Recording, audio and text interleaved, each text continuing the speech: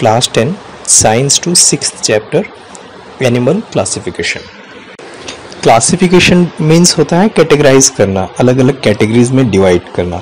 Ninth में हम लोग ने पढ़ा था प्लांट क्लासिफिकेशन तो प्लांट्स हैं जैसे वैरायटी ऑफ़ प्लांट्स बहुत ज़्यादा है मतलब मिलियंस ऑफ़ प्लांट्स हैं, उसी तरह मिलियंस ऑफ़ एनिमल्स भी तो सबको अलग अलग कैटेगरी में डिवाइड करते हैं। कुछ क्राइटेरिया होते हैं मीन्स कुछ इसके पैरामीटर्स होते हैं, क्राइटेरियाज होते हैं अकॉर्डिंगली उनको क्लासिफाई किया जाता है।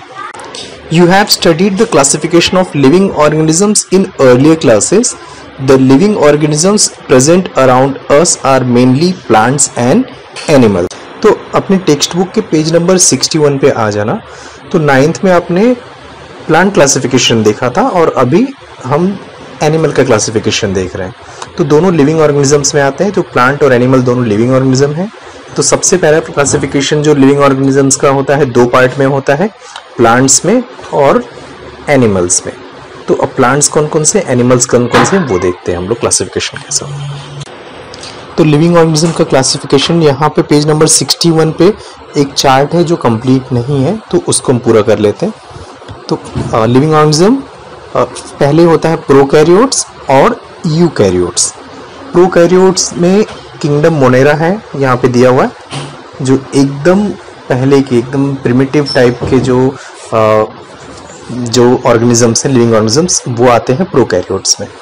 और यूकैरियोट्स जो होते हैं यूकैरियोट्स दो टाइप के होते हैं उसका क्लासिफिकेशन आप देखो यूनिसेलुलर ऑर्गेनिज्म और मल्टी सेलुलर ऑर्गेनिज्म यूनि मतलब होता है सिंगल सिंगल सेल वाले ऑर्गेनिजम्स एक हो गए और मल्टी सेलुलर दूसरा हो गया। फिर यूनिसेलुलर में एक है किंगडम प्रोटिस्टा तो किंगडम प्रोटिस्टा है, वहीं पे यूनिसेलुलर ऑर्गेनिज्म खत्म हो जाए और मल्टी सेलुलर फिर उसके बाद वो आगे बढ़ जाता है। तो मल्टी सेलुलर में सेकेंड है मतलब जो नेक्स्ट क्लासिफिकेशन होता है मल्टी सेलुलर में दो टाइप का दोज विथ सेल वॉल और सेकेंड है दोज विदाउट सेल वॉल तो जो सेल वॉल के साथ में है, वो सारे प्लांट्स हैं और जो विदाउट सेल वॉल हैं, वो हैं एनिमल्स हैं। तो सेल वॉल वाले फिर दो टाइप हो गए ऑटोट्रॉप हेटोट्रॉप और किंगडम प्लांटे हो गए और हेटोट्रॉप्स वगैरह में किंगडम फंगाई हो गए और फिर किंगडम प्लांटी का क्लासिफिकेशन है और फंगाई का भी क्लासिफिकेशन है।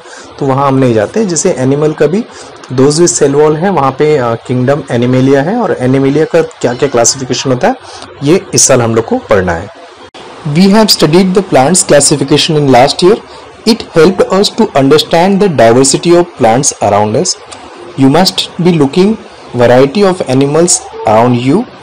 Some animals are too small whereas some are too big. Some animals are terrestrial whereas some are aquatic. Some animals crawl on land, some swim in water whereas some fly in air. तो plants की तरह animal में बहुत variety है आ, कुछ animals बहुत छोटे होते हैं हाँ जैसे कि माइक्रो ऑर्गेनिजम्स टाइप है और कुछ बहुत बड़े होते हैं हम्म, कुछ ज़मीन पे रहते हैं टेरिस्ट्रियल हैं कुछ एक्वेटिक है जो पानी के अंदर रहते हैं कुछ क्रॉल करते हैं जो रिंग के चलते हैं आ, कुछ अच्छे से चलते हैं कुछ वाटर में स्विम करते हैं कुछ फ्लाई करते हैं। तो इसी तरह variety of animals are there around us some animals have scale on skin मेरे सम हैव फीदर और हेयर तो कुछ के स्किन पे स्केल्स होते हैं जैसे फ़िश वगैरह के ऊपर और कुछ के ऊपर स्किन होती है स्किन है होती है या फेदर होती है या हेयर होता है उनके ऊपर एनिमल के ऊपर? In this way there is huge diversity among the animals to according to recent studies estimated number of animal species on earth is approximately seven millions तो around seven million million type of animals are there तो seven million means होता है one million होता है, दस lakh ten lakh. तो seven million means seventy lakh तो seventy lakh type के एनिमल्स हैं. It is impossible to study each and every species however if groups and sub groups of animals are form depending upon the similarity and differences it will make it very easy to study such variety of animal तो हर species को study करना possible नहीं है। मतलब सत्तर लाख का तो नाम भी आप नहीं याद रख सकते हो। तो उन 70 लैक्स को क्या कर सकते हैं कि कुछ ग्रुप्स में डिवाइड कर सकते हैं अकॉर्डिंग टू सिमिलैरिटीज तो कुछ सिमिलैरिटी होती है उनमें। तो आ, उन सिमिलैरिटी के हिसाब से according to similarity they are classified into some groups and subgroups and it will be very easy and convenient for us to study such variety of animals animal classification के benefits क्या होंगे? Study of animals become convenient study of few animals from a group help to understand about the entire animal group तो सबसे पहले तो study करना बहुत ही convenient हो गया कि सबको एक एक इंडिविजुअल स्पीशीज़ के बारे में नहीं पढ़ना है ग्रुप है। और ग्रुप में जब स्टडी करते हो तो एंटायर ग्रुप ऑफ़ एनिमल आपको पता है कि ये सब जो है, वो एक दूसरे से रिलेटेड है वो ग्रुप ऑफ़ एनिमल तो उनका एक साथ स्टडी हो जाता है। तो इसलिए क्लासिफिकेशन बेनिफिशियल है। It gives idea about animal evolution और हमने फ़र्स्ट चैप्टर में पढ़ा था इवोल्यूशन की। बेसिक जो है, सब शुरू में ऐसा मानते हैं कि सब चीज़ जो कॉमन एंसेस्टर्स है सबके। लेकिन धीरे धीरे डेवलपमेंट के हिसाब से इवोल्यूशन के हिसाब से वो अलग होते गए। तो जब ग्रुप्स में हम डिवाइड करते हैं तो बहुत सारे एनिमल एक जैसे दिखते हैं। तो इससे हम पता चल सकते हैं कि वो एक ही ग्रुप से या एक ही कॉमन एंसेस्टर्स के से वो अलग अलग हुए। जैसे कैट फैमिली में तो कैट नॉर्मल अपने घर की कैट भी हो सकती है। या जो बिग कैट्स होते हैं, वो सब तो मतलब जो जंगल के जो बड़े बड़े ना, शेर वगैरह वो सब तो मतलब वो कैट फैमिली में है। हाँ तो वो इस तरह से एक एनिमल इवोल्यूशन का भी हम लोग को थोड़ा सा अंडरस्टैंडिंग बढ़ती है उससे। फोर्थ है animals can be easily identified with great accuracy तो एनिमल्स को आइडेंटिफिकेशन करने में, उनको पहचानने में हमको मदद मिलती है। It helps to understand the relationship of animals with other living organisms तो कोई एक पर्टिकुलर एनिमल है, दूसरे लिविंग ऑर्गेनिजम्स के साथ उसका क्या रिलेशन है? वो स्टैब्लिश हो सकता है, कोई रिलेशनशिप है तो बता सकते हैं। तो हमको समझ में आता है वो। It helps to understand the habitat of sub animals and its exact role in the nature तो एनिमल्स के हैबिटेट को समझ में आता है कि वो कहाँ रहता है और उसका नेचर में क्या रोल है बेसिकली वो क्या काम करते हैं वो। It helps to understand various adaptation shown by animals तो एनिमल्स ने अपने हैबिटेट के अकॉर्डिंग या अपने जो सराउंडिंग्स के अकॉर्डिंग क्या चीज़ अडॉप्ट कर लिया, क्या अडेप्टेड अडेप्टेशन उन्होंने किया, वो सब समझ में आता है कि अगर वो वाटर में रहता है एक्वेटिक है तो उसने अपनी बॉडी में या अपने स्टाइल में क्या चेंजेस लाया है, वो सब समझ में आता है। अपनी बॉडी में या फिर अपने आदतों में, अपने लाइफ स्टाइल में क्या चेंजेस लाया वो सब समझ में आता है हमको एनिमल क्लासिफिकेशन को स्टडी करने से। पेज नंबर 62 पर है हिस्ट्री ऑफ़ एनिमल क्लासिफिकेशन ये आपके इस साल के ओमिटेड पोर्शन में है तो इसमें बहुत सारे साइंटिस्ट या फिर बहुत सारे फिलोसफर्स थे, जिन्होंने एनिमल्स को क्लासिफाई किया था। तो उनके कुछ नाम हैं, वो आपको इस साल याद नहीं करना है। लेकिन अपनी जनरल अंडरस्टैंडिंग के लिए आप उसको रीड कर सकते हो। अब नेक्स्ट टॉपिक है traditional method of animal classification तो एनिमल क्लासिफिकेशन की ट्रेडिशनल जो मेथड है ट्रेडिशनली डिपेंडिंग अपॉन प्रेजेंस और absence of notochord the animal kingdom has been divided into two groups non chordates and chordates तो सबसे पहले animal का जो ट्रेडिशनल क्लासिफिकेशन था, वो दो ग्रुप्स में था। एक था कॉर्डेट्स और एक नॉन कॉर्डेट्स कॉर्डेट बेसिकली क्या होता है? नोटोकॉर्ड एक होता है। Notochord is a long rod like supporting structure present on dorsal side of animal body इसमें आपको जब इस चैप्टर में दो वर्ड्स आएँगे, एक होगा डोर्सल और एक होगा वेंट्रल जो डोर्सल होता है डोर्सल मतलब होता है बैक साइड पीछे के साइड अपनी बॉडी का हम जैसे हमारे पीठ के साइड का जो बैक साइड में उसको बोलते हैं डोर्सल साइड और वेंट्रल जो होता है वेंट्रल मीन्स होता है आ, सामने front side front front side को कहते हैं वेंट्रल और बैक साइड को कहते हैं डोर्सल तो आ, जो नोटोकार्ड होता है नोटोकार्ड बेसिकली एनिमल्स के डोर्सल साइड में होता है। और जो हमारे नर्व टिश्यूज वगैरह होते हैं वो इसी से प्रोटेक्टेड रहते हैं। हम्म। It keeps the nerve tissues isolated from the remaining body तो रिमेनिंग बॉडी से आइसोलेटेड बचा के रखता है वो उसको जो नोटोकॉर्ड होता है। तो जिन एनिमल्स के अंदर नोटोकॉर्ड्स होता है तो उनको कॉर्डेट कॉर्डेट्स बोलते हैं और जिनके अंदर नोट नोटोकॉर्ड नहीं होता है, उनको बोलते हैं नॉन कॉर्डेट्स पेज नंबर 62 पे ही है नॉन कॉर्डेट्स का। उसके कैरेक्टरिस्टिक्स हैं। Characteristics of non chordate animals are as follows first body is not supported by rod like notochord तो उनके अंदर नोटोकॉड एबसेंट होता है, नहीं होता है। Second pharyngeal gill slits are absent तो जो नॉन कोऑर्डिनेट्स होते हैं, उसमें फेरेंजियल गिल स्लिट्स एबसेंट होते हैं। गिल स्लिट्स बेसिकली क्या करते हैं? वाटर और फ़ूड को फ़िल्टर करने का काम करते हैं। तो वो उनके अंदर एबसेंट होते हैं। Third point nerve cord if present it is on ventral side it is solid and paired nerve cords अगर होते भी हैं तो इसमें बेसिकली नोटोकॉर्ड नहीं होता जो उसको प्रोटेक्ट करता है। ऐसा नर्व कॉर्ड्स को प्रोटेक्ट करने वाला नोटोकॉर्ड एबसेंट होता है। अगर नर्व कॉर्ड्स होता है तो वो वेंट्रल साइड पे होता है। मतलब फ्रंट साइड में होता है। जबकि जो कॉर्डेट्स में है कॉर्डेट्स में ये नोटोकॉर्ड है, वो कहाँ पर होता है? वो आगे की साइड में सॉरी पीछे की साइड डोर्सल साइड में होता है। बट इसमें नर्व कॉर्ड्स अगर होता है नॉन कॉर्ड्स में तो वो वेंट्रल साइड में होता है।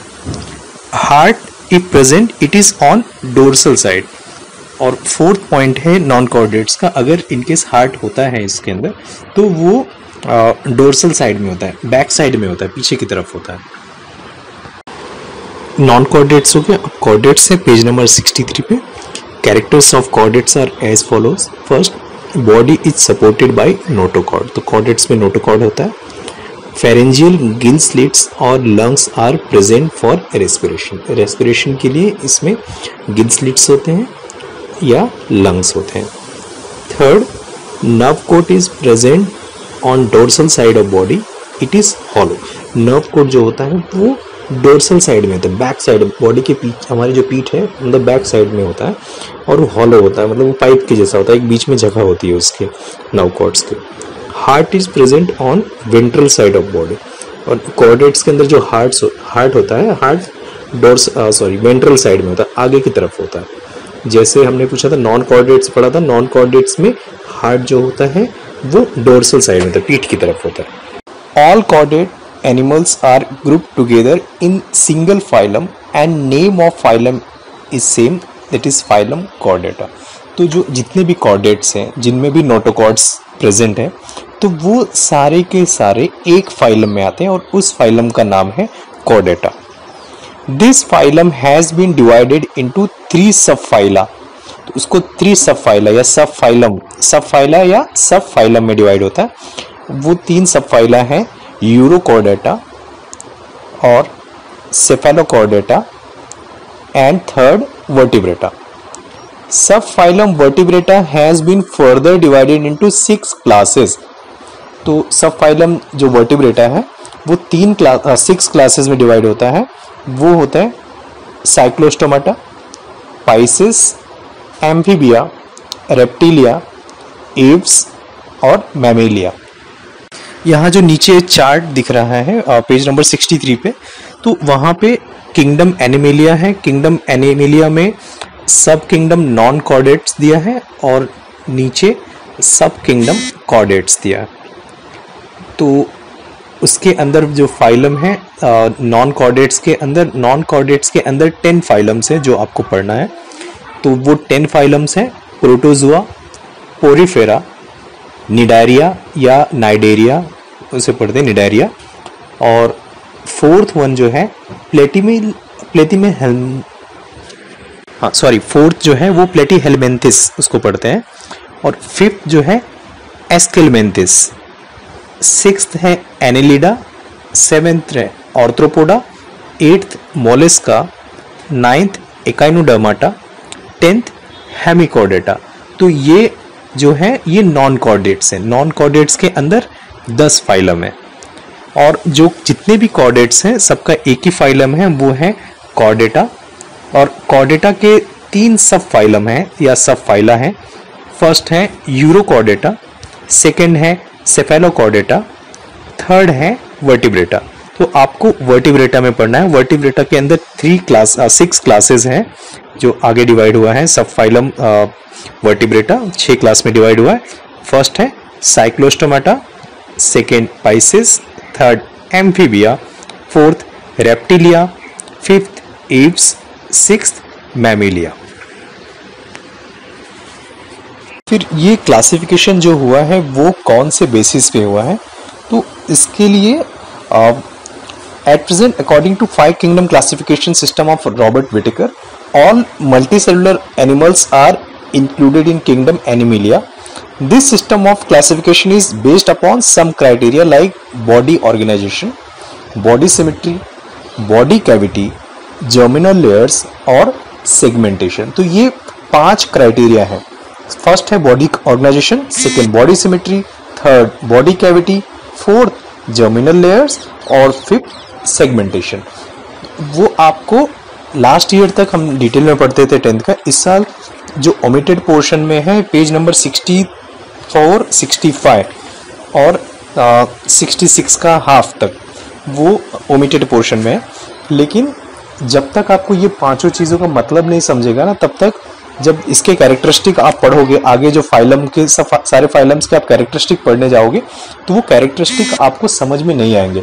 इसलिए आपको जो ये पाँच क्राइटेरिया हैं, भले एग्ज़ाम में नहीं आए तो भी एक बार सुन लो ताकि बेसिक आइडिया आपको हो जाए।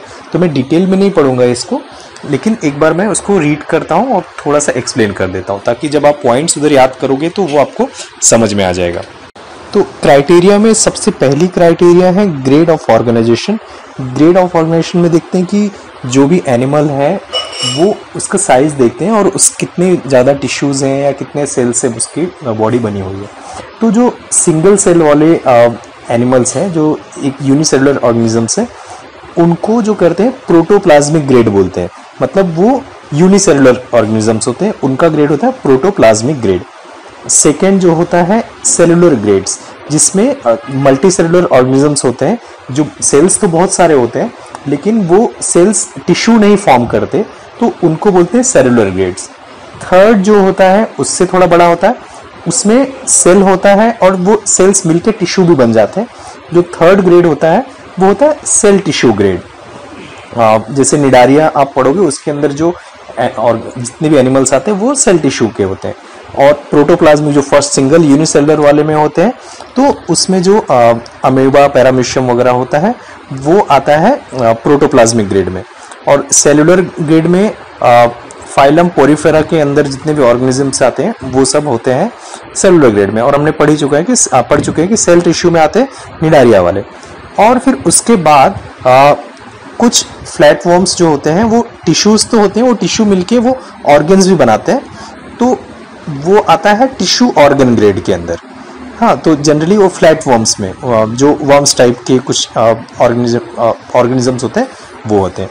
और फिफ्थ वन जो है, वो है ऑर्गन सिस्टम ग्रेड जैसे हम लोग हैं, हमारे ऑर्गन है और अलग अलग ऑर्गन्स मिल के हमारी बॉडी बनी है। तो हम कौन से ग्रेड में आते हैं? Organ system organ system grade में। तो ये रहा आपका फ़र्स्ट क्राइटेरिया जिसका नाम था ग्रेड ऑफ़ ऑर्गेनाइजेशन पाँच टाइप के ग्रेड हैं protoplasmic grade second cellular grade third cell tissue fourth tissue organ organ fourth organ system grade second criteria है, वो है body symmetry body symmetry means होता है कि कोई भी बॉडी हो, और किसी भी ऑर्गेनिजम्स की, उसको अगर हम दो पार्ट में डिवाइड करते हैं तो किसी प्लेन के थ्रू कट करने पे एक इमेजिनरी डिवीज़न करते हैं. इमेजिनरी उसको कट करो किसी एक्सिस में. तो उसकी बॉडी दो इक्वल हाफ्स में होती है तब उसको बोलते हैं सिमेट्रिकल और जब नहीं होती तो असिमेट्रिकल बॉडी में होती। जो सिमेट्री भी होती है वो दो टाइप की सिमेट्री आपको पढ़नी है। एक होती है रेडियल सिमेट्री और एक बायोलिट्रल सिमेट्री तो सबसे पहले असिमेट्रिकल बॉडी ये है कि आ, उसको किसी प्लेन में कट करने पे किसी भी इमेजिनरी एक्सेस पे कट करने पे इक्वल हार्म्स नहीं मिलता है। हाँ मतलब इक्वल हमको नहीं मिलता है। तो उसको बोलते हैं असिमेट्रिकल बॉडी इसमें अमीबा पैरामिशियम स्पॉन्ज है, ये सब में असिमेट्रिकल बॉडी होती है। अगर आप एक किसी भी एक्सिस में आप कट करोगे तो आप, हमको एकदम एग्जैक्टली उसकी सिमिलर बॉडी सेकेंड्स में नहीं मिलती है, या फिर इक्वल हाउस में डिवाइड नहीं होता रेडियल सिमेट्री जो होता है, अगर बॉडी को सेंट्रल एक्सिस पे कट करो हाँ जैसे यहाँ पे आपको जो यहाँ पे दिया है, एक रेडियल सिमेट्री का एग्जांपल तो वहाँ यहाँ एग्ज़ाम्पल है स्टार फ़िश वगैरह। स्टार फ़िश को अगर सेंट्रल एक्सिस बीच में से एक लाइन पास होती है चाहे कहीं से भी मतलब बीच में से जाए खाली एक लाइन से कट करो चाहे राइट से लेफ़्ट से कहीं से भी कट करो लेकिन वो जो कट करो वो बीच में से सेंट्रल एक्सिस से पास होना चाहिए। तब वो क्या होता है कि दो पार्ट में डिवाइड अगर हो जाती है तो उसको बोलते हैं रेडियल सिमेट्री स्टारफिश एग्ज़ाम्पल है। आ, तो स्टारफिश में यहाँ पे five different planes passing through central axis of body which can get two equals of तो स्टार फ़िश में पाँच पार्ट है। पाँचों में से कहीं से भी अगर आ, कोई भी लाइन सेंट्रल एक्सिस से पास होती है तब वो इक्वल इक्वल हाल्स में डिवाइड हो जाती है। तो इस सिमेट्री को बोलते हैं रेडियल सिमेट्री और थर्ड वन जो है वो है बायोलेटरल सिमेट्री इसमें एक ही only one such imaginary axis of body through which we can get equal halves तो एक ही एक्सेस है जिसमें इक्वल हार्ब्स मिल जैसे हम लोग हैं तो हमारे बीच में से अगर बॉडी को कट किया तो दो इक्वल हार्ब्स हो जाएँगे। और आपकी बुक में जो यहाँ पे गोट का दिया हुआ है तो उसको भी अगर बीच में से कट किया तो बायोलिटरल सिमेट्री उसके। एक हाथ दोनों मतलब इसके पूरा नाक, मुँह से लेके पूरा एक आँख इस तरफ़, एक आँख इस तरफ़ तो वो उसको बोलते हैं बायोलेटरल बाय मीन्स दो तो बायोलेटरल सिमेट्री हो जाए जो थर्ड क्राइटेरिया है, वो है जर्म लेयर तो जर्म लेयर दो टाइप के होते हैं। एक होता है डिप्लोब्लास्टिक और सेकेंड होता है ट्रिप्लोब्लास्टिक तो बेसिकली जर्म लेयर मतलब होता है ग्रुप ऑफ़ सेल तो जब मल्टी सेलुलर ऑर्गेनिजम्स जब फॉर्म होते हैं तो initial period of their development embryonic stage में जब डेवलपमेंट के होते हैं वो लोग, तब वो लोग जर्म लेयर फॉर्म करते हैं। अलग अलग इन केस ऑफ़ एनिमल कुछ एनिमल्स के अंदर दो ही जर्म लेयर होते हैं। जैसे एक जर्म होता है एंडोडर्म सेकेंड होता है एक्टोडर्म तो जिसमें सिर्फ़ दो जर्म लेयर्स होते हैं, उसको बोलते हैं डिप्लोब्लास्टिक एनिमल्स और एग्ज़ाम्पल जो निडारियन है, निडारियन जो है, वो सारे के सारे क्या है? वो डिप्लोब्लास्टिक है। उसके अंदर दो ही जर्म लेयर्स होते हैं। और उसके बाद कुछ में three germs three germ layer होते हैं, तीन जर्म लेयर होते हैं। तो एंडोडर्म और एक्टोडर्म के अलावा उसमें एक होता है मेसोडर्म। तो ये एंडोडर्म, एक्टोडर्म, मेसोडर्म, इस तरह थ्री जर्म लेयर्स होते हैं। तो उनको बोलते हैं ट्रिप्लोब्लास्टिक एनिमल्स। तो एनिमल क्लासिफिकेशन की जो फोर्थ कैटेगरी है, फोर्थ क्राइटेरिया है, वो है body cavity. Absence of body cavity और presence of body cavity. Body cavity को बोलते हैं सिलोम उसको कोयलम जैसा है लेकिन वो स्पेलिंग एक्चुअली उसको पढ़ते हैं सिलो। तो वो तीन टाइप के होते हैं। एक आ, कुछ टाइप के ऑर्गेनिजम्स होते हैं उसके अंदर ट्रू बॉडी कैविटी होती है। उसको बोलते हैं यू सिलोमेट जिसके अंदर बॉडी कैविटी है। स्पेलिंग है E U C O E L O M A T E U coelomate और जिसके अंदर बॉडी कैविटी नहीं होती उसको बोलते हैं ए सिलोमेट तो इसकी स्पेलिंग है A C O E L O M A T E और थर्ड जो है, वो है सूडो सिलोमेट सूडो सिलोमेट में क्या होता है? They have body cavity but it is not form by the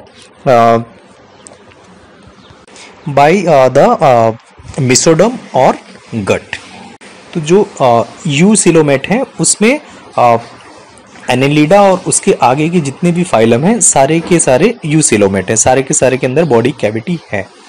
but जो एस एलिमेंट है ए सिलोमेट में जो निडारिया है, प्लेथी हेलमेंथिस है, या पोरीफेरा है, इन सब के अंदर जो सिलोम है, या बॉडी कैविटी है, वो एबसेंट होती है। वहीं फाइलम एस्केलिमेंथिस से में उसमें क्या होता है, बॉडी कैविटी होती है, बट वो प्रॉपर इससे मतलब गट या मेसोडर्म से फॉर्म नहीं होती है तो इसलिए उसको बोलते हैं स्यूडो सिलोमेट बेसिकली आप लोग को जो इसमें कैरेक्टरिस्टिक में आएगा तो उसमें वो जो ग्रुप है या जो फाइलम है वो तीनों में से कोई होगा। या तो वो सिलोमेट होगा, या तो यू सिलोमेट होगा, या एस एलिमेंट होगा, या स्यूडो सिलोमेट होगा। नेक्स्ट और फिफ्थ क्राइटेरिया है बॉडी सेगमेंट्स तो आपने अर्थहोम वगैरह देखा होगा अर्थहोम पे ऐसी छोटी छोटी लाइंस होती है, उसको सेगमेंट्स बोलते हैं।